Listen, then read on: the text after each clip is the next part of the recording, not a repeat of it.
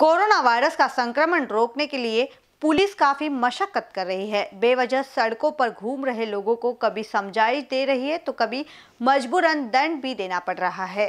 ऐसे में स्वयं की सुरक्षा ज़रूरी है। इसीलिए शहर के वाठोड़ा पुलिस थाने में पुलिस कर्मी व आने वाले नागरिकों के सुरक्षा के दृष्टिकोण से sanitising tunnel machine Wathoda police थाने में लगाई गई है, जिसका शुभारंभ जोन चार के पुलिस उपायुक्त निर्मला देवी के हाथों किया गया। ये हे आपल्या झोनमध्ये सात पोलीस स्टेशनपैकी तीन पोलीस स्टेशनला आता स्थापन केलेली यामध्ये आपल्याला पोलिसने आठ गंडे आपल्याला आठ नऊ गंडे आपण रोडवरती थांबून आता नाकाबंदी करून राहिलेली आहे आणि काही ठिकाणी त्यांना भरपूर लोकांना आपल्याला भेटावावं लागेल.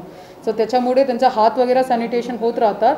पण त्यांच्या कपडेमध्ये काहीतरी आपल्याला समजा काही संपर्क आला असेल त्याच्या काही सॅनिटेशन करण्याकरिता या योजना तयार झालेली आहे.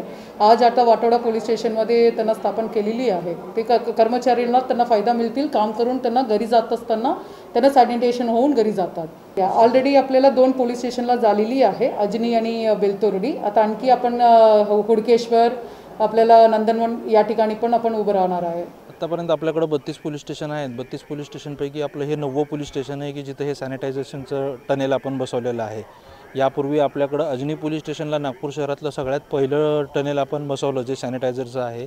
त्यानंतर हुडकेश्वर त्यानंतर आपलं बेलतरोडी झालं आहे सदर पोलीस स्टेशन झालं आहे वाडी पोलीस स्टेशन झालं आहे M I D C police station झालं आहे आणि त्याच्यानंतर आपलं आज बजाजनगर पोलीस स्टेशन पण झालेलं आहे.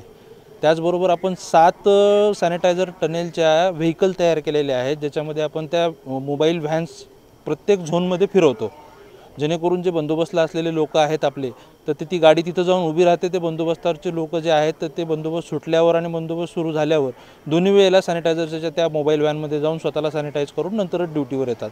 आणि घरी जाताना सुद्धा तीच प्रोसिजर असते. मग ते स्वतः सॅनिटाईज होऊनच नंतर घरी जातात. अशा प्रकारे आपलं हे व्हॅनचं आणि हे टनेलचं काम नागपूर शहरात सुरू आहे.